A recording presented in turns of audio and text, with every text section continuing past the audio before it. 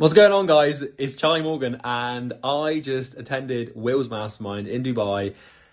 It was fucking amazing. I had a great time, and I wanted to record this video to say a massive thank you to Will and Alex and the rest of the team for organizing it because it was brilliant. And it was actually so good that I'm going to go again next year, um, or actually later on this year. So I've already signed up for the second event.